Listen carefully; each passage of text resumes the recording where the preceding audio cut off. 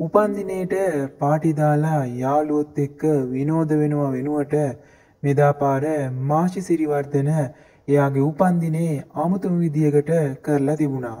ඉතින් ඔයාලා ඒකේ ඡායාරූප බලන ගමන් මාෂි සිරිවර්ධන එයාගේ නිල ෆේස්බුක් ගිණුමේ දාලා තිබුණු සටහන අපි ඔයාලට ගෙන හැර දක්වන්නම්.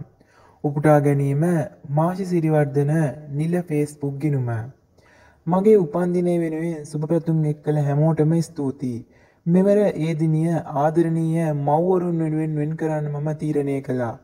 අපි හැමෝටම අමාරු කාලයක් වුණත් එහෙම කාලයකදී එකිනෙකාට උදව් කර ගැනීම අපේ යුතුයකමක් නිසා මං උපන්දිනේ සමරන්න ආසම විදිය මේක නිසාත් අපි පුළුවන් විදියට අපේ ගමේ අත්තිඩිය මාතෘ සායනයට දවල් පෝෂදායී ආහාර වේලක් සහ සහල් ඇතුළු වියලි ආහාර මල්ලක් ලබා දෙන්න සිතුවා. මම උපදින්න ඉන්නකොට අපේ අම්මිත් මුලින්ම ඇවිත් තියෙන්නේ මෙතනට. ඒ නිසා මේක මට ගොඩක් විශේෂයි.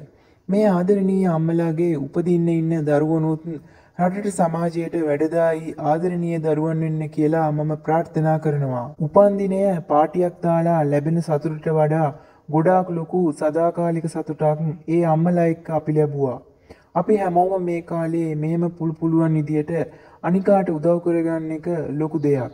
ඉතින් මේ හැම් පින්කමක් වාගේම මගේ හෙවණැල්ල වාගේ ඉන්න ආදරණීය පුබුදු චතුරංගට සහ මාගේ ආදරණීය අම්මිත් තාත්ති ඇතුළු පවුලේ සියලු දෙනාටත් අත්තිඩිය මාතෘ සායනයේ හෙද කාර්ය මණ්ඩලයටත් හදපිරි විශේෂ ස්තුතිය.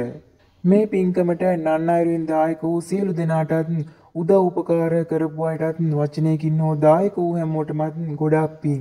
මේ සත්ක්‍රියාව ගැන සිත් පහදවා ගන්න ඔබ සැමටත් ඒ පින් අනුමෝදන් වෙන්න කියලා ප්‍රාර්ථනා කරනවා.